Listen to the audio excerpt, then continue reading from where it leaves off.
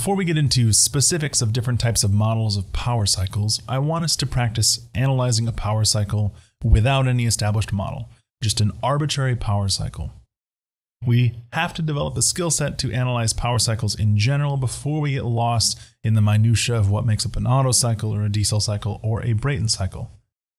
So in this problem, we are considering a cold air standard cycle with constant specific heats being executed in a closed system comprised of four processes. The process from state 1 to state 2 is isentropic compression from 100 kilopascals and 27 degrees Celsius to 800 kilopascals. The process from 2 to 3 is isochoric heat transfer, it doesn't specify in or out, which brings the temperature to 1800 Kelvin. 3 to 4 is isothermal, that's constant temperature expansion to 100 kilopascals, and 4 to 1 is isobaric heat transfer, again without any indication of direction, which restores the system to its initial state. Using this information, I want us to determine the net work and net heat transfer occurring in the cycle. So let's parse that out for a second. We have a cold air standard cycle. Air standard is referring to the fact that we are analyzing ideal air and using those same four assumptions that are grouped together under the name air standard.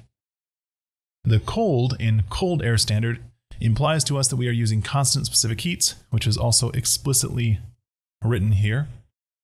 And furthermore, that those constant specific heats are evaluated at 300 Kelvin. That's what the cold refers to. Regardless of the temperature of the process, the temperature of the air at any state point, we are evaluating the properties at 300 Kelvin.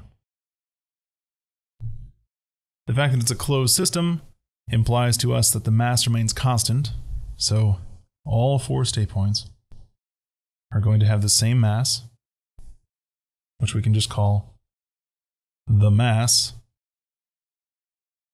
m. And then we are looking for net work and net heat transfer. We have enough information in the problem to fully define all four state points. We know that because we have two independent intensive, uh, excuse me, we know that because we have two independent intensive properties at all four state points. If we look at state 1, we were told T1 and P1. Those two independent intensive properties fully define state 1, from which we can determine any other property we want. At state 2, we were told a pressure. Because 1 to 2 is isentropic compression from 100 kilopascals and 27 degrees Celsius to 800 kilopascals. This process at 800 kilopascals. We also know that the process from 1 to 2 is isentropic. Isentropic means that the entropy is going to be constant throughout the process. So S2 will equal S1. And if we know S1, because we can look it up, because we can look up anything using T1 and P1, theoretically, then S2 being equal to S1 gives us our other independent intensive property at state 2. If we follow that same logic, the process from 2 to 3 is an isochoric process. That means constant volume, so the total volume at 3 is going to be the same as the total volume at 2. That itself is not an intensive property, but because we know it's a closed system, therefore the mass is constant, that means M3 is also going to be equal to M2.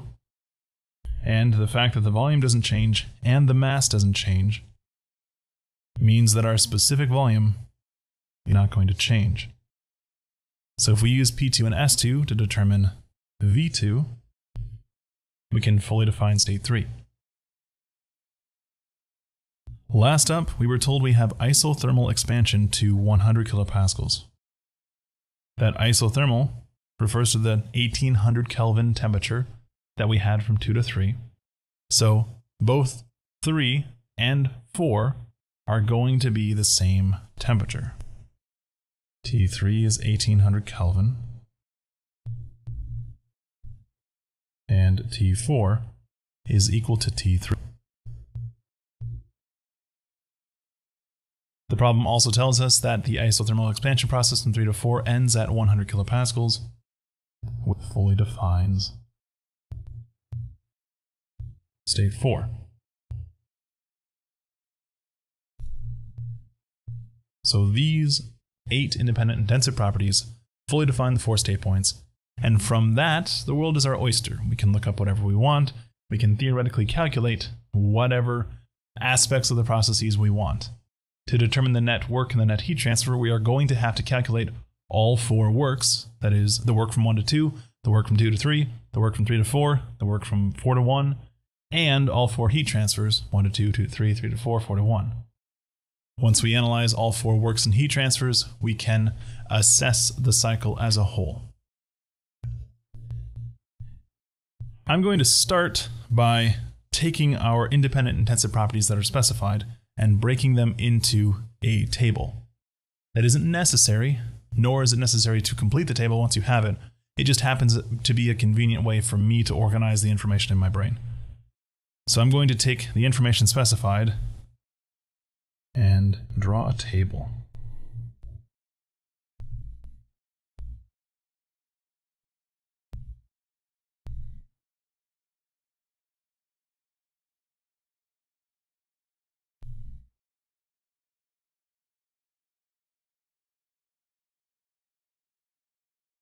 And the three relevant independent intensive properties that I care about are temperature. Oh, let's try that again. Temperature, pressure, and specific volume.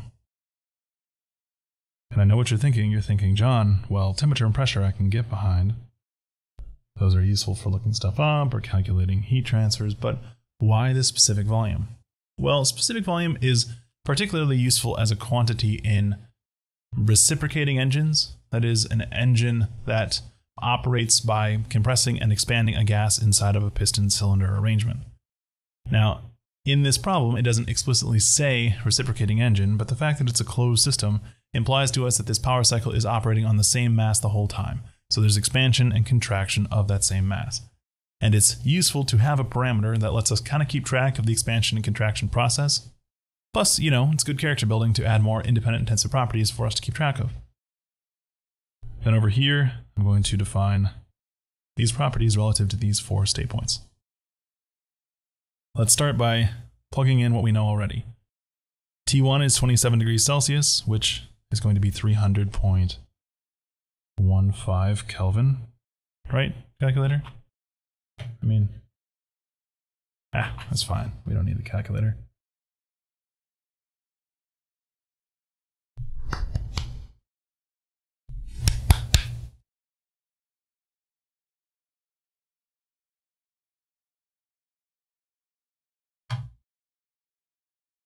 Right, calculator? C. Okay. 27 plus 273.15. Hooray, it's 300.15. We did it. P1 is 100 kilopascals. V1 we don't know yet. P2 was 800 kilopascals. And we know that V2 is going to be the same as V1. So draw an arrow or something that helps me keep track of that. State 3, we know, has a temperature of 1800 because the process from 2 to 3 ends at 1800. That's not temperature, John. There we go. 1800. And then the process from 3 to 4 is also isothermal, which means that 3 to 4 is constant temperature. I'll draw my arrow, you know, just to provide some consistency in this table that I'm drawing. So we don't know V1, which means that we can't set up our two quantitative properties at state 2 to determine whatever else we want. So let's think about that for a second. How could we use T1 and P1 to determine a specific volume? Well, you're probably going to be thinking property tables. Property tables for air, I look up T1 and P1 and I determine a specific volume. Well, that's a good instinct, but in our particular appendices, we don't have properties for air that include an actual specific volume. And why don't we? Because those tables are for ideal air, and for ideal air, we have a better way of coming up with specific volume that doesn't waste a whole bunch of ink. We know that it is going to be R times T over P because it's an ideal gas, and therefore we're going to be using the ideal gas law to keep track of it. So specific volume can be written as the specific gas constant for air multiplied by T1 divided by P1, and that would give us specific volume. Furthermore, remember that the specific gas constant for air is going to be the universal gas constant divided by the molar mass of air. Those quantities can be determined in the textbook, and in fact, why don't we just look up the specific heat capacities while we're at it? So I am going to clear some space here.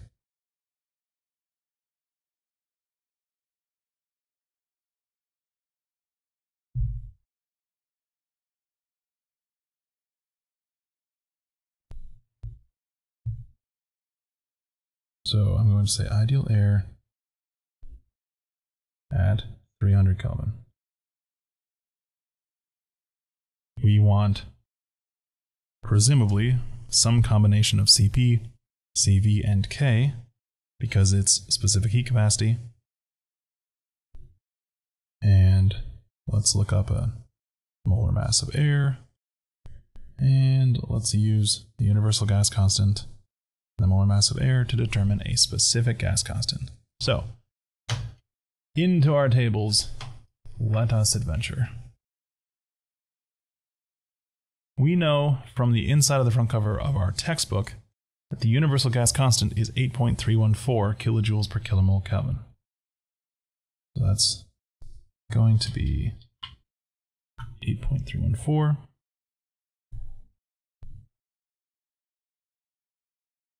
kilojoules per kilomole Kelvin. And then next, let's grab the molar mass of air just so we can calculate the specific gas constant. That's going to come from table A1, which is going to be 28.97.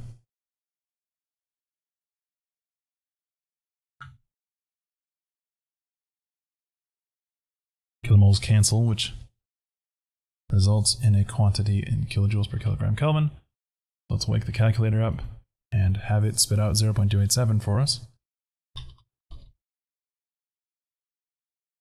Hey look, it's 0.287-ish. So 0.286987, which I'm going to round to 7.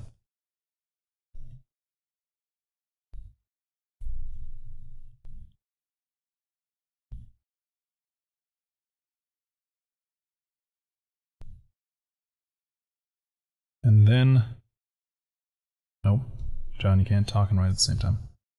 Kilograms per kilomole, not kilograms per kilogram. Ah. CP, CV, and K will all come from our specific heat capacity tables for ideal air. So let's peruse on down to, I believe it's table A19.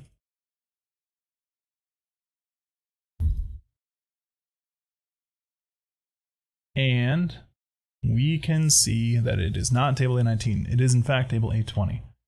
The table A20 gives us CP, CV, and K values for air, that is ideal air, at different temperatures. Now, which temperature do we use? That's right, we use 300. And it's not because T1 is 300, it is because we were told to use the cold air standard, which means that we're evaluating these properties at 300 Kelvin. That is what the cold in cold air standard means. There's also a hot air standard where you look up properties at, I think it's 600 degrees Celsius, but that's, don't quote me, that's off the top of my head. So 1.005, 0.718, and 1.4. That's 1.005 kilojoules per kilogram Kelvin, 0.718 kilojoules per kilogram Kelvin, and 1.4. And note that every time that we use the cold air standard, we are going to be using these same three properties. So you're going to get very proficient at looking them up. And at a certain point, you can just start grabbing them from memory. That's fine, as long as you know where they come from. I should be able to give you a problem on the exam that's, I don't know, of nitrogen or oxygen, and you should be able to determine the CP and CV and K values and not just default to the ones that you've been using out of muscle memory. So now that we have an, a specific gas constant, we can calculate a specific volume at state 1. So 0.287, big horizontal line, kilojoules per kilogram Kelvin, And we are multiplying by 300 Kelvin. 300.15 because it was 27 degrees Celsius. We are dividing by 100 kilopascals, which was the pressure at state 1. And so far, Kelvin cancels Kelvin. To get the rest of the units to cancel appropriately, I need to break the pressure and energy units into their primary components. I could do that by breaking a kilopascal into a thousand kilo. Oh, here, I'll just show you. So I could break a kilopascal into a thousand pascals and break a kilojoule into a thousand joules, but when I do that, I just cancel the thousands anyway. So in these circumstances, it's uh, actually more convenient to just leave it in the thousands quantity. So a kilopascal could be written as kilonewton per square meter, as opposed to a thousand pascals, and then a pascal is a newton per square meter. Just fewer steps to write. And then a kilojoule can be written as a thousand joules, now, kilojoule cancels kilojoules. Kilonewtons cancels kilonewtons. John, we talked about this. The whole point was to leave it in the thousands quantity. What are you doing? Kilonewtons cancels kilonewtons. Kilojoules still cancels kilojoules. Kilopascals cancels kilopascals. That leaves me with square meters and meters, which is going to be cubic meters and kilograms in the denominator. So calculator, if you would wake up.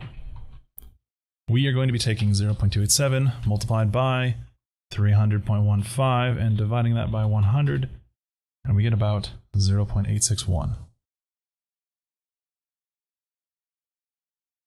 cubic meters per kilogram. So I will write that here, 0.861. And then because of the arrow, because we have enough information to give us our quantity at state 2. Interesting. I didn't write the arrow in the right spot. Guys, you were supposed to yell at your TVs. Okay, let's try that again. Because we have enough information to fully define state 2 around state 1, we have the ability to determine our other properties. Now, how is it that we get T2 and V2?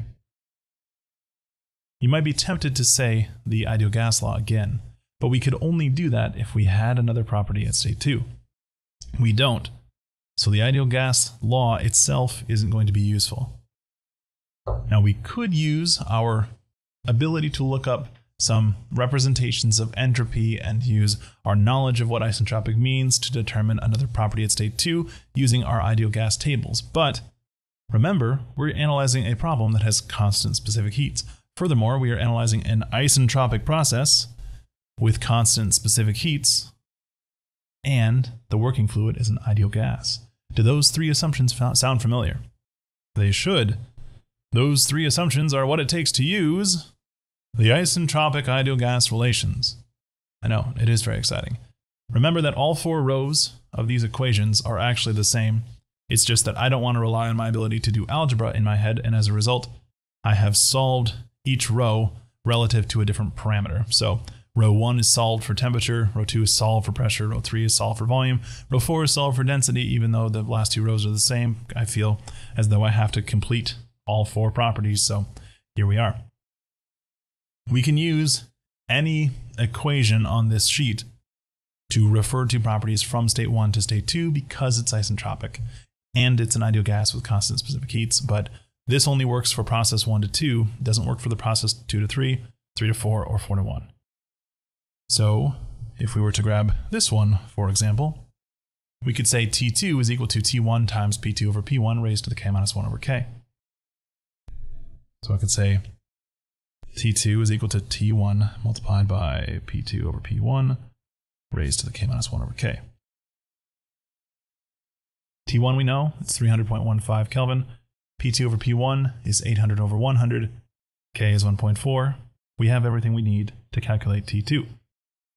So, 300.15 multiplied by 800 divided by 100 raised to the power of 1.4 minus 1 divided by 1.4. Our T2 is 543.706.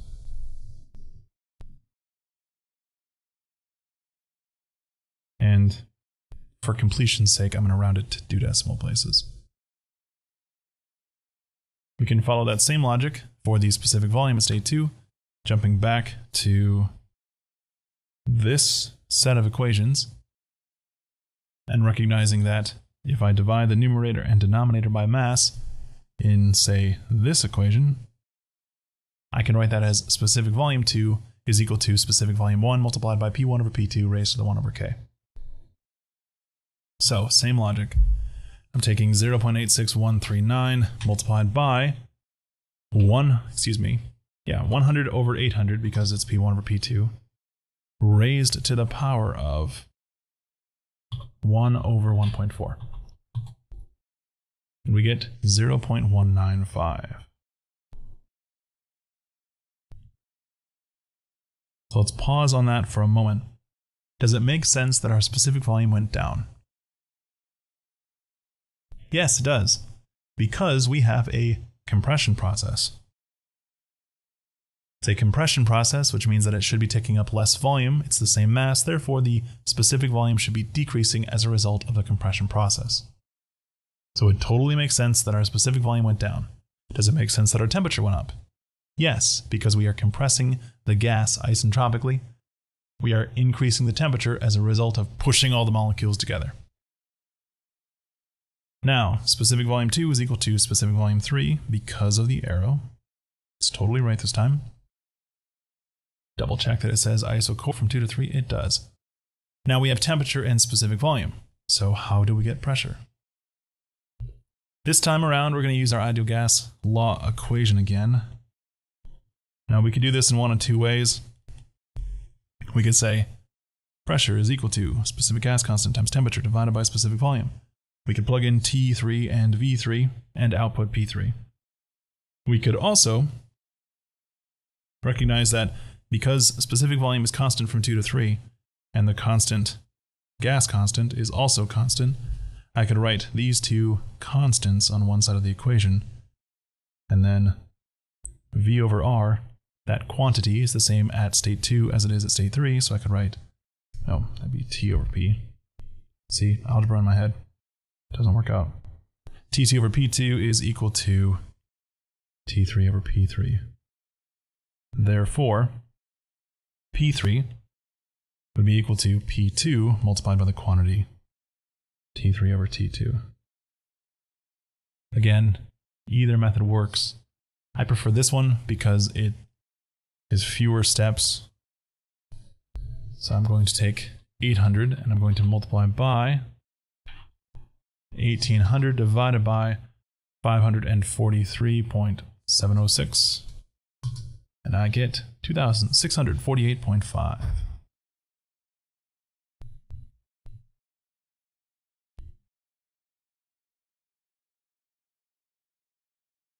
That gives me enough information to move on to state 4. The process from 3 to 4 is isothermal expansion to 100 kilopascals. So I didn't write 100 when I was populating the information I already knew. So knowing P3 doesn't particularly help me in P4. I already had P4. I, guess there's a lesson to be learned there. Sometimes what you need is inside the problem statement all along. T4 and P4 can be used to determine specific volume in the same way as we did for state 1. We could say V4 is equal to R times T4 over P4. We could also use the isobaric process from 4 to 1 to write out the ideal gas law as R over P is equal to V over T.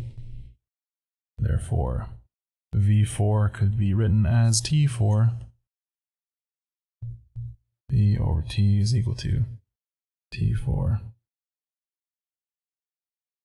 times, okay.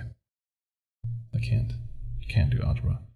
V4 or T4 equal to V1 or T1. Yeah, it's fine. So T4 times V4 over T1.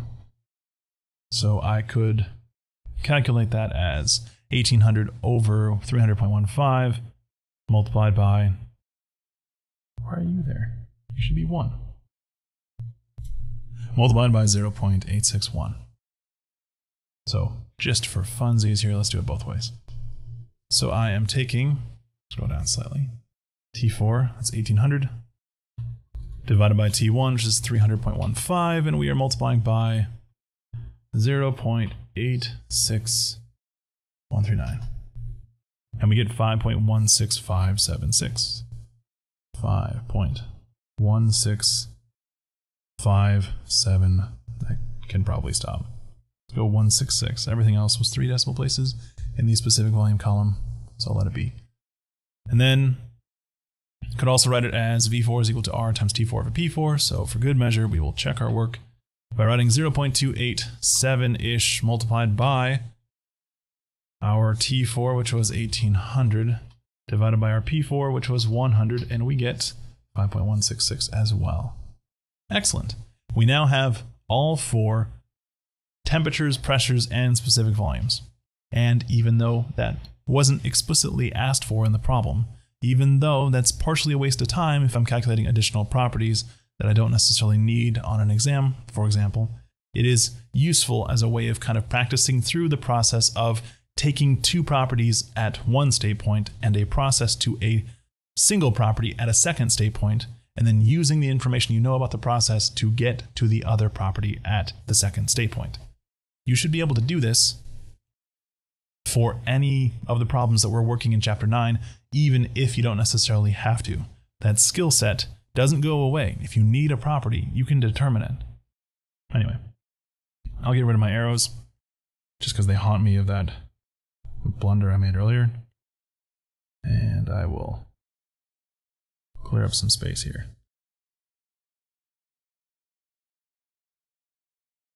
So, next, we can use these four temperature, pressure, and specific volume properties to help us determine a work and heat transfer for all four processes. So what I want now is the heat transfer from 1 to 2, the heat transfer from 2 to 3, the heat transfer from 3 to 4, and the heat transfer from 4 to 1. Furthermore, I want the work from 1 to 2, I want the work from 2 to 3. I want the work from 3 to 4. And I want the work from 4 to 1. I want a magnitude and direction for each of these eight quantities.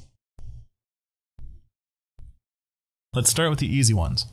An isentropic process is going to be adiabatic. We know that because we are saying delta S of our system is added to the delta S of the surroundings to equal zero because it's an isentropic process. The entropy doesn't change. There is no generated entropy, which means that this being constant and that being constant must give us zero here. So the heat transfer from 1 to 2 is 0. Done. The other easy one is going to be the isochoric work, because since we're expanding and contracting a closed system, the relevant work here is going to be boundary work, which means that our work from 2 to 3 is 0. Then our process from 1 to 2 is going to have some amount of work as a result. Process from 2 to 3 is going to have some amount of heat transfer as a result. Process from 3 to 4 is going to have both work and heat transfer process from 4 to 1 is also going to have both work and heat transfer. That makes sense. So start with 1 to 2. How do we get the work, you ask? Well, let's consider an energy balance.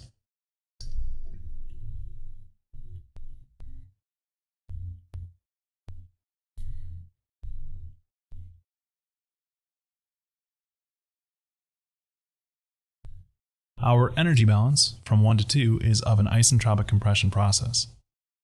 So I'm talking about the worst drawing ever. Okay, I gotta redo that.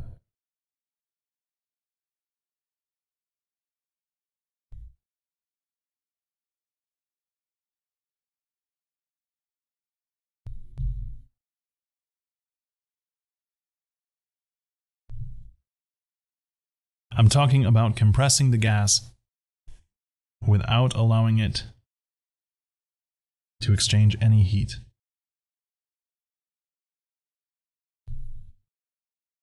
So I'm going to start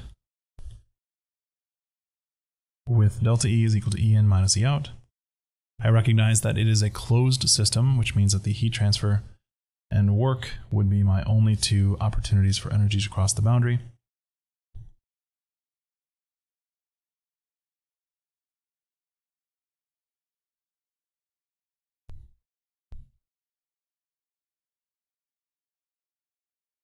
And then it's a transient process, which means the left-hand side of the equation matters. So delta U plus delta KE plus delta PE.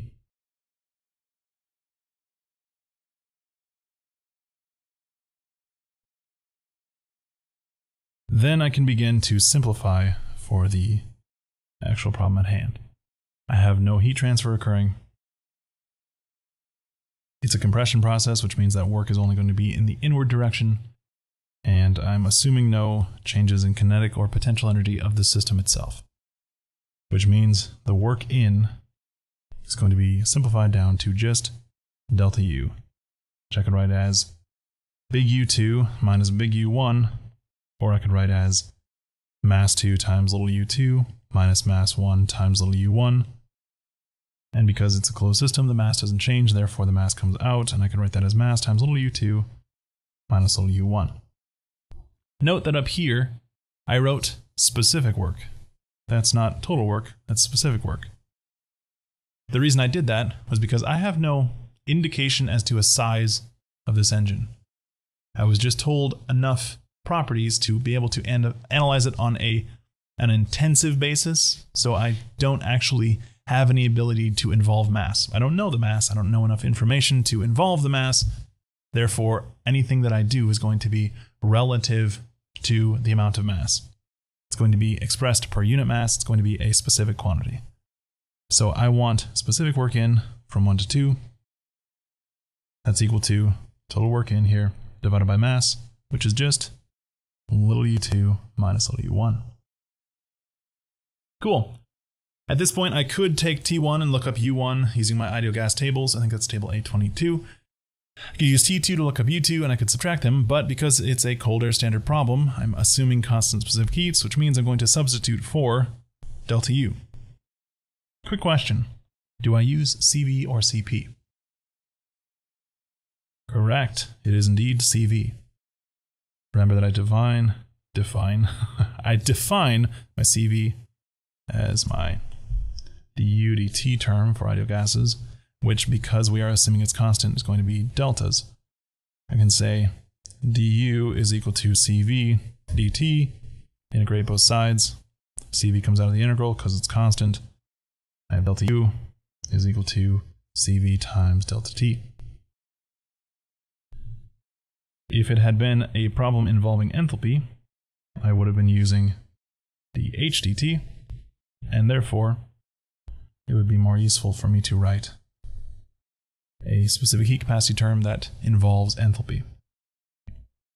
Again, it would come out because it's constant, and I would have delta T is equal to Cp times delta T. Nope.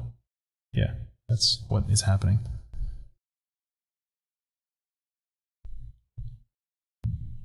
So instead of writing little u2 minus little u1, I'm going, going to write CV times t2 minus t1.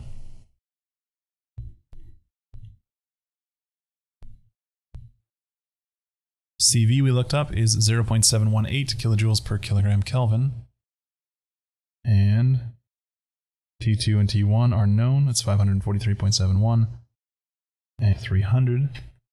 So calculator, if you would please, 0.718 multiplied by 543.71 minus 300.15, and we get 174.873.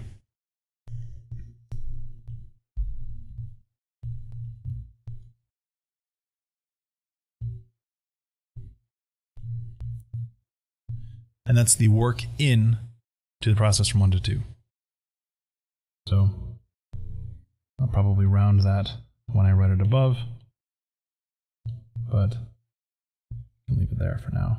So the work in to is 174.84.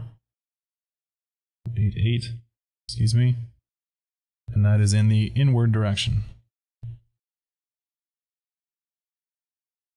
Process 1 to 2 done. The process from 2 to 3 is going to look much the same at the beginning.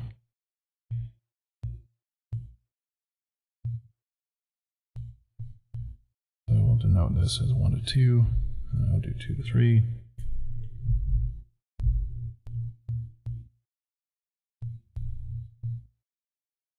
Copy it down for good measure.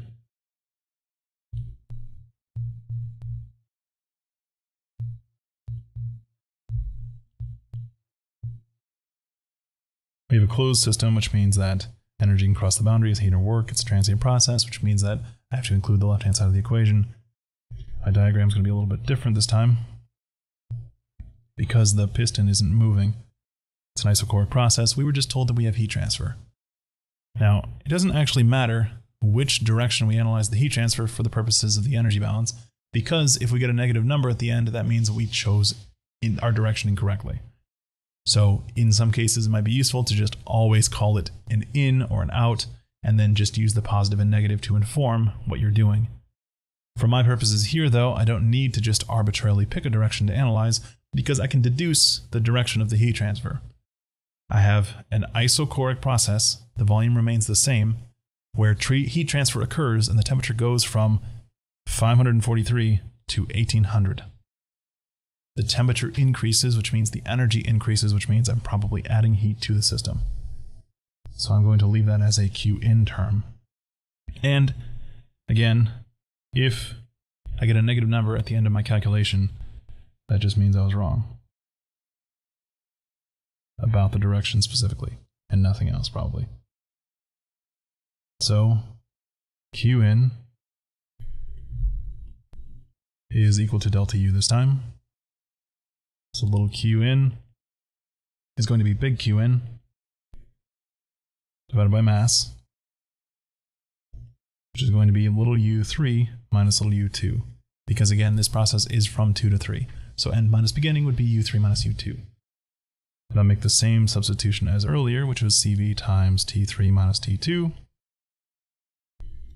So I will say 0.718 multiplied by T3, which is 1800, minus 543.7, and then a bunch of decimals. So we get negative two, oh, right, I wrote 180. I was like, what? really? Calculator? Okay, let's try that again. we got a positive number, which we totally knew was going to happen the whole time. 902 is going to be our heat transfer in from 2 to 3.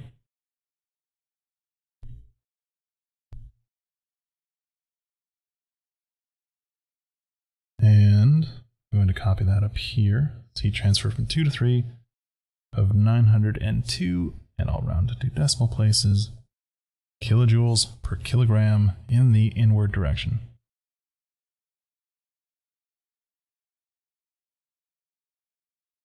Two processes done. For 3 to 4, I have isothermal expansion.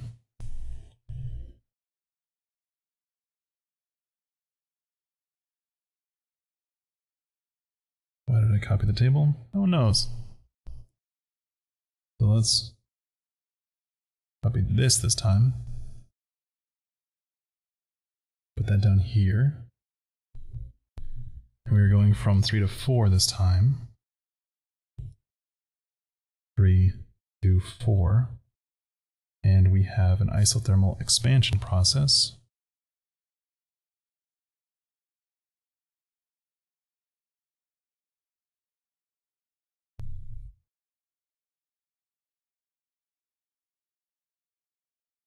Going from three to four. And that is going to affect what we cancel. Let's go back to this step. Transient process. and closed system expansion, temperature remains the same for the gas. So, which work do we leave? Well, it's an expansion process, which is going to be work in the outward direction. Let's cancel work in. Now, what about heat transfer?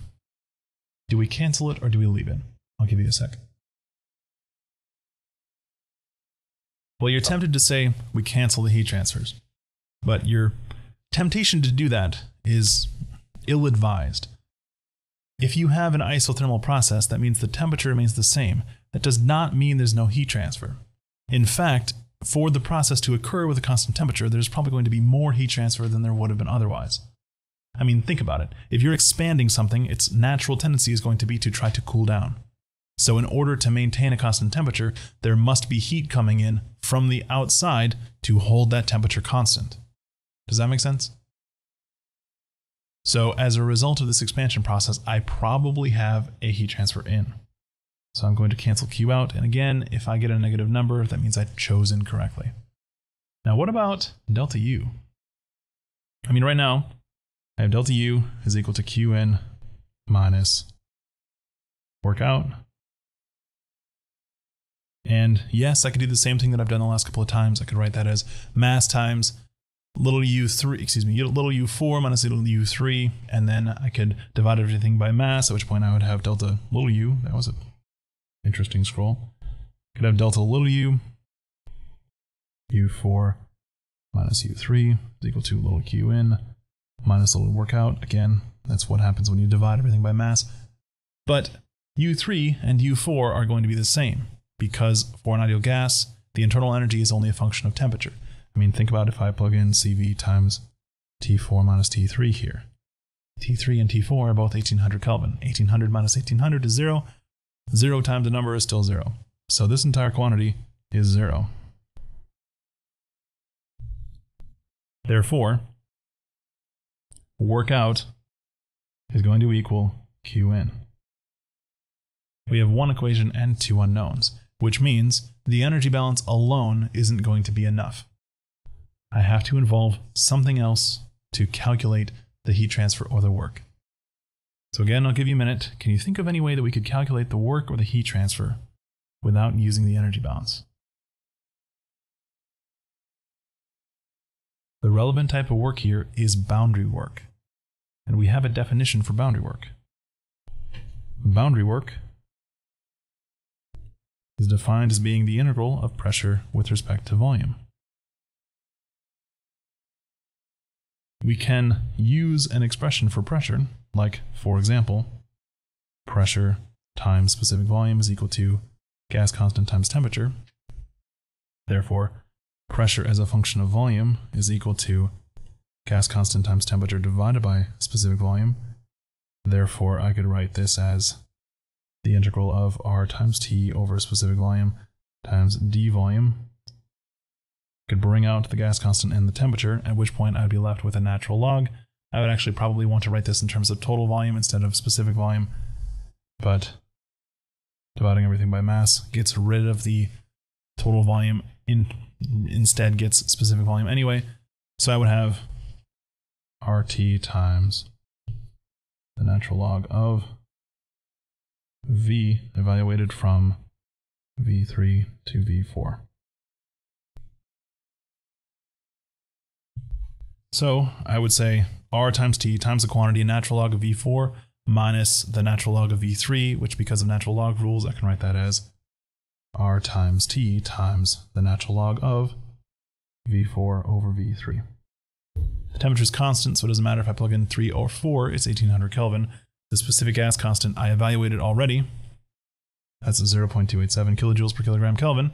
And V4 and V3 I happen to have already. I know the numbers because I calculated them, even though at the time it seemed like extra work for nothing. So calculator, come back. We have 0.287 kilojoules per kilogram Kelvin multiplied by 1800 Kelvin. That's going to cancel the kelvins, which is going to leave me with kilojoules per kilogram. And then I'm multiplying by a natural log, which I don't have a convenient button for in this calculator emulator, so I'm going to write that as natural log and then 5.166 divided by 0.195 and I get 1692.82.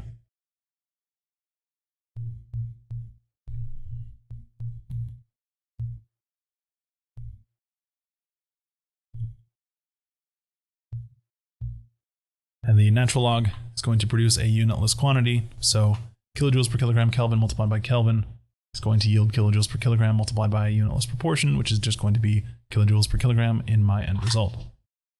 So the boundary work, the specific boundary work occurring in this process is 1692.82 kilojoules per kilogram. That's going to be a work output because it's positive. Remember that we define boundary work as being in the outward direction because our dV term here is positive for the case of expansion.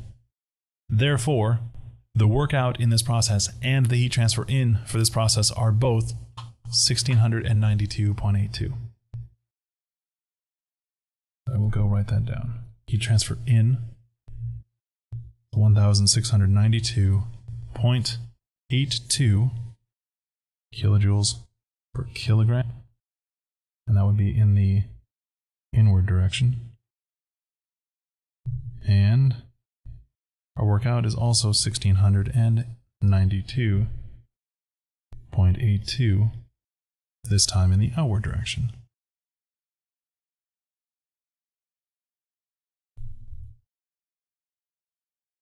By the way, that boundary work equation would have allowed us to calculate 1 and 2 without involving the delta U relationship. I could have used the specific boundary work from 1 to 2 that's going to be an isentropic process, which means I'm going to use the polytropic form. That'd be P2 V2 minus P1 V1 divided by 1 minus n, and we are plugging in k in place of n. So I could say P2 times V2 minus P1 times V1 divided by 1 minus 1.4 but I'm going to be even lazier than that. Instead of plugging in pressures and specific volumes, I'm going to recognize that pressure times specific volume is gas constant times temperature because of the ideal gas law, which means I can write that as R times T2 over T1. So I can say 0.287 multiplied by T2, which was 543.70591565, minus T1, which is 300.15, and divide that by 1 minus 1.4. And I get negative 174.751. So the boundary work, the work output from 1 to 2 is negative 174.75, which means that my work in would actually have been 170.75. So I got 174.88. I think 174.75 is within enough rounding errors in the calculation itself to be the same as 174.88. Yeah, probably. And again, we could do that for the process from 2 to 3 as well. I guess 2 to 3 would be boring. Not particularly helpful. Body work is 0. So we can't involve that to be useful in the process from 2 to 3. Okay, armed with all of this skill set, let's go back to analyzing one process at a time. In 4 to 1, my energy balance is going to start off the same.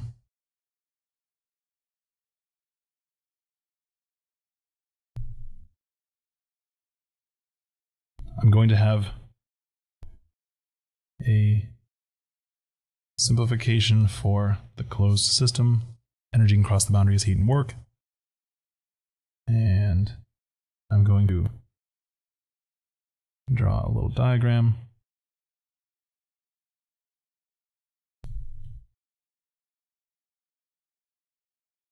I have heat transfer, but I wasn't told which direction, so I will have to think about it. I'm going from a large specific volume to a small specific volume, which means that I'm likely going to be compressing as a result of the heat transfer.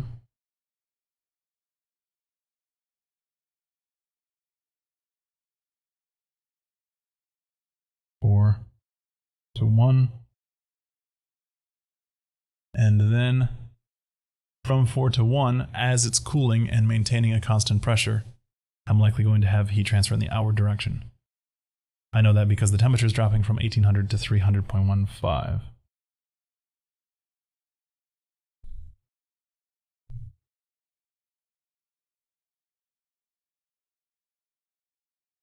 So I'm going to call my work in from 4 to 1. And I'm going to call my heat transfer out.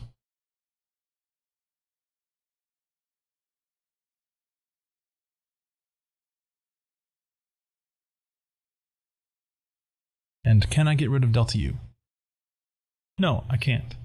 That means I have to use delta U is equal to work in minus U out. So in the process from 1 to 2, I had delta U and work in. I got rid of Q. In the process from 2 to 3, I got rid of work. In the process from 3 to 4, I got rid of delta U. This time, I have to consider all three at the same time.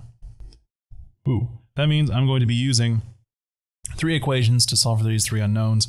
The equation for delta U is going to be CV times T1 minus T4. The equation for work in is going to be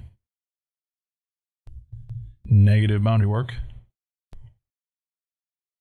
That's going to be easy because it's the integral of pressure with respect to specific volume and the pressure comes out because I have a constant pressure process from 4 to 1, which means this is just pressure times our relationship between specific volume, which is going to be V1 minus V4. So the pressure at 4 is 100 kilopascals. I know both specific volumes. I could do the same thing I did earlier, by the way. I could substitute in R times T1 minus T4. If I wanted to, that would be perfectly valid. That might be more convenient in this, this case because theoretically I'm solving for Q out by rearranging the equation, writing it as work in minus delta U.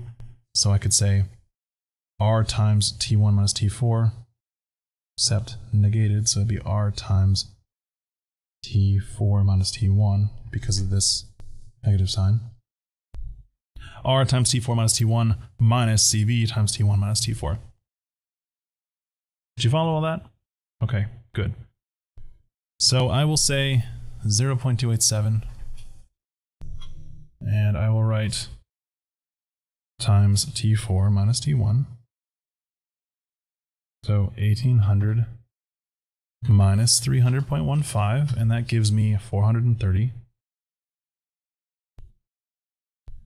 It's positive, which means that I guessed correctly on my directionality. 430.46, 430.46, 430.46.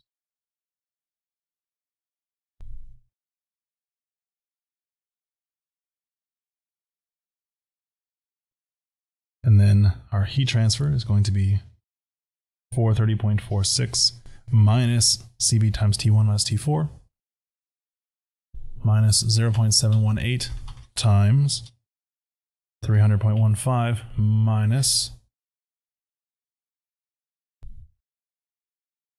1800 and I get 1507.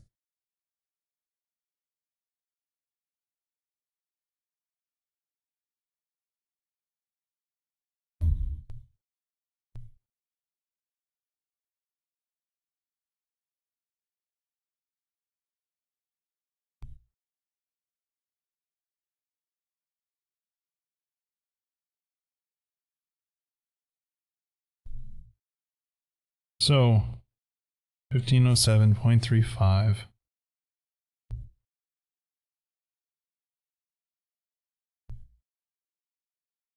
kilojoules per kilogram in the outward direction.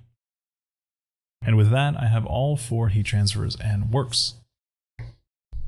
Then determining the net work is just going to be a combination of the works. Determining the net heat transfer is going to be the combination of the heat transfers.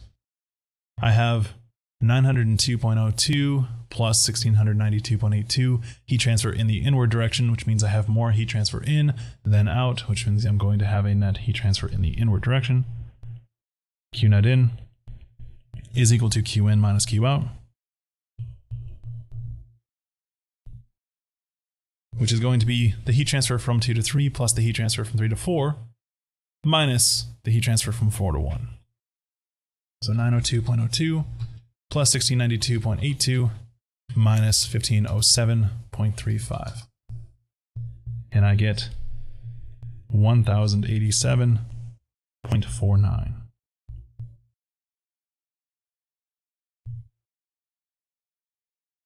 And then the network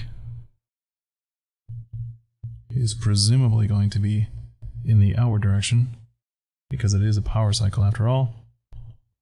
But just to double check, 174.88 is in, 430.46 is in. Combined, that's, I don't know, about 600, 1692.82 in the outward direction is still bigger than that.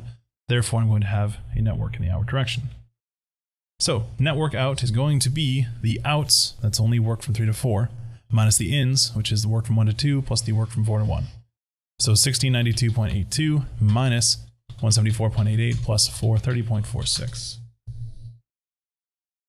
So I am going to get 1087.48. Now remember, this cycle is itself a closed system, and it's operating steadily when you consider an entire cycle at a time. So it has to get back to where it started every time. So my net work out should equal my net heat transfer in because the energy doesn't have the opportunity to do anything else. So I should have gotten the exact same number for both. I'm going to chalk up the differences in the hundreds place to the fact that I rounded all of these numbers to the 100s place. Presumably, if you kept track of your decimals a little bit more carefully, you would have gotten exactly the same number for both. Cool. That's all we actually had to do for the problem statement as written. But since we're here, let's do some more.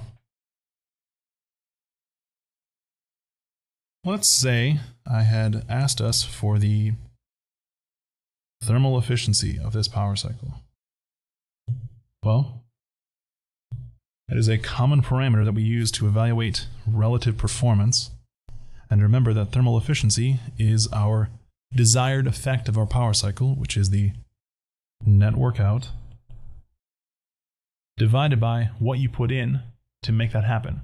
In the case of a power cycle, what we are putting in is heat transfer. That's why we call it thermal efficiency. It's efficiency relative to the heat added. So that's Qin. Remember, don't use net Qin, otherwise you should get a 100% efficient turbine every, excuse me, power cycle every single time. We only want the heat transfer in. So I'm going to take 1087.48 kilojoules per kilogram and divide it by the heat transfer in the inward direction. There are two sources of heat transfer in, so I'm going to divide by 1692.82 plus 902.02.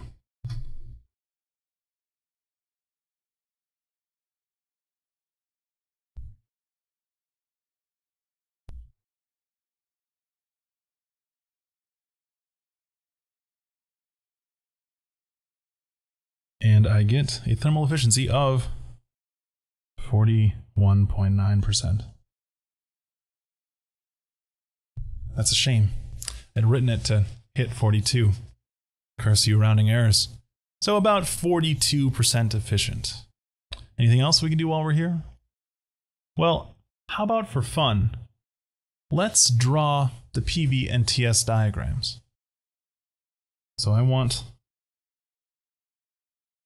graphs for pressure with respect to specific volume and temperature with respect to entropy. These graphs are useful for keeping track of what's happening in a cycle. The PV diagram is going to give us an idea of the work that's happening because movement to the left or right is going to represent work. The TS diagram is going to give us an idea of what heat transfer is happening because movement to the left or right on the TS diagram represents heat transfer out. As a result, looking at the PV and TS diagrams can help us keep track of what's actually happening and consider the operation of the cycle as a whole. So, movement to the right on the PV diagram represents work out, movement to the left represents work in. On the TS diagram, it's the opposite. Movement to the left represents heat transfer out because of Beyonce. Movement to the right represents heat transfer in. Now we could actually use our pressures and specific volumes to plot this to scale, but I don't necessarily want that. What I want for these sorts of drawings is just a relative idea of what's happening. I don't need it to be drawn to scale, I just want the positioning of the state points relative to one another to make sense. So let's start by considering what's happening on the x-axis for the specific volume on the PV diagram. Well, if movement to the left and right represents work, then I should be able to look at the works and heat transfers and deduce what's happening based on the input or output of work. From work, from 1 to 2, I have in, 3 to 4, I have out, 4 to 1, I have in. So from 1 to 2, I'm going to move to the left. And then I'm going to stay there from 2 to 3. And then I'm going to move to the right from 3 to 4, and I'm going to move back to the left to get back to where I started. So 1 is going to be in the middle, 2 and 3 are going to be to the left, and 4 is going to be to the right. Again, because I have work in from 1 to 2, I have no work from 2 to 3, so there's no horizontal displacement.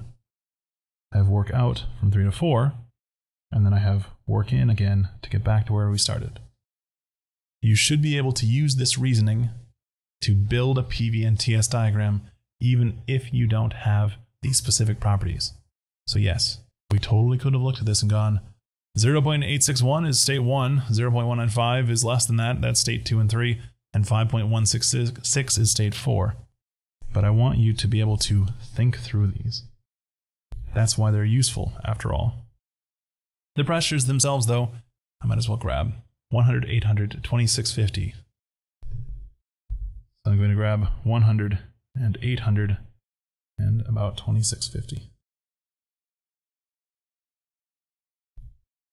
Draw a tiny tilde there. That doesn't help. Okay. About 2650. And these pressures are in kilopascals. So state 1 is going to be here. State 2 is going to be at 800 kilopascals. So it'll be here. State 3 will be up here. State 4 will be down here. And eventually we might get to the point where I ask you to draw these curves for the processes a little bit more accurately. But for now, you can just connect them with straight lines if you want. I know that should have a curve.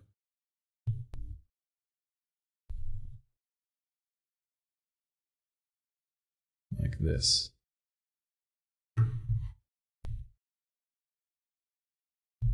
So work in from 4 all the way to 2. You can think of the work in as the area under this curve work out from 3 to 4, which would be the area under this entire curve.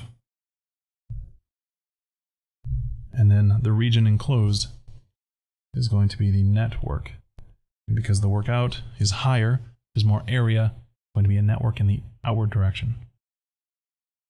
Okay, one graph down. Let's do the same thing for heat transfer.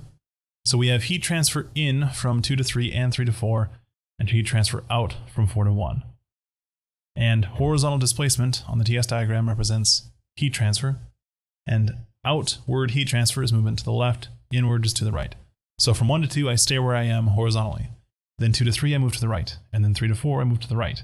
And then 4 to 1, I move back to the left to get back to where I started. So I'm going to have three locations 1 and 2, 3, 4, and 1. Does that make sense? You don't move because there's no heat transfer from 1 to 2. 2 to 3 is movement to the, to the right because it's heat transfer in. 3 to 4 is movement to the right because it's heat transfer in. And then 4 to 1 is movement to the left and it gets us all the way back to where we started. I could also use the relative magnitudes of these heat transfers to place 3 relative to 4 a little bit more intentionally, but for now, all I want is general shape. Then again, because we have the temperatures, we might as well just use them. 300, 543.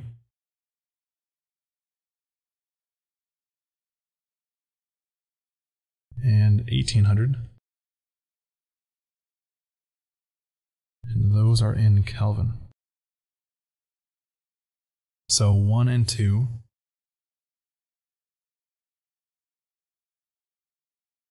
Three and four are up here. Straight line. And I'll draw this a straight line.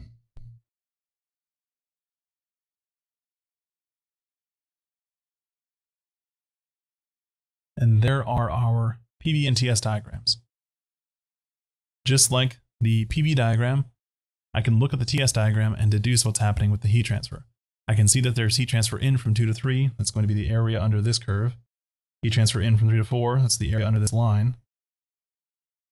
And then heat transfer out from 4 to 1, that's the area under this curve. And the heat transfer in on a net basis is the region enclosed. Okay, now let's really be done with the problem. Now that we have that skill set, we can actually think through models of more realistic power cycles. And as we develop these models, like the Otto cycle and the Diesel cycle and the Brayton cycle and the Atkinson cycle and the Stirling cycle and the Ericsson cycle, remember that those sets of assumptions that go along with it are on top of our skill set for analyzing a power cycle in general. You should be able to solve through the processes and the state points without getting into what it is that makes up the Otto cycle or the Diesel cycle or the Brayton cycle. Does that logic make sense? Don't get too lost in the minutia of those specific assumptions that are layered on top of this analysis.